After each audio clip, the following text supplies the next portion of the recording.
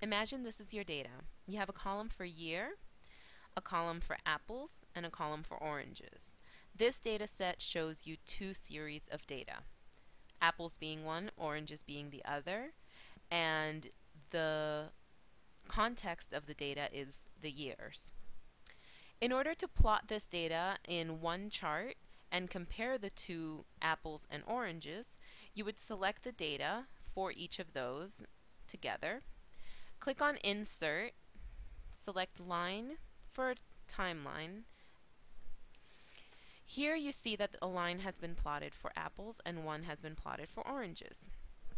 However, your x-axis is not complete. You want to right-click on the x-axis, click on Select Data, and where it says Horizontal Category Axis Labels, click Edit. Now you have the opportunity to select all of the years for which you have data. Once you do so, you can click OK, and again click OK.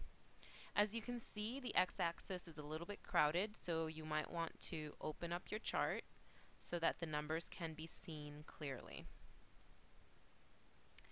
The chart, however, is incomplete. A good chart should always have a title and you should also show your source of data. In this case we want to go to layout, click on chart title and above chart.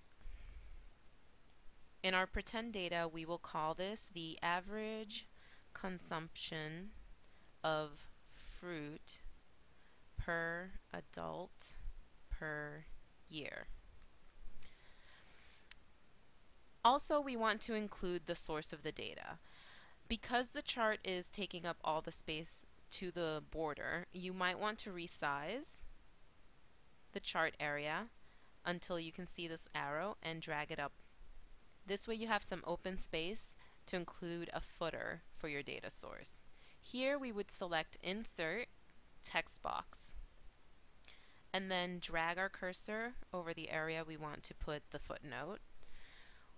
I want to format it so the text size is, the font size is a little bit smaller and call it data source Heidi's made up information.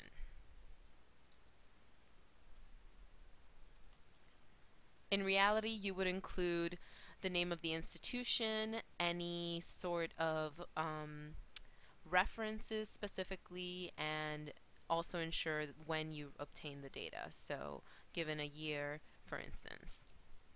Once you do this, your chart is pretty much complete. You can modify it by moving the legend to wherever you please, such as in the upper corner, inside the chart, and then resizing the chart.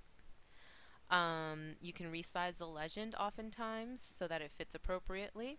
And now you have a chart that's ready to be used in your analysis.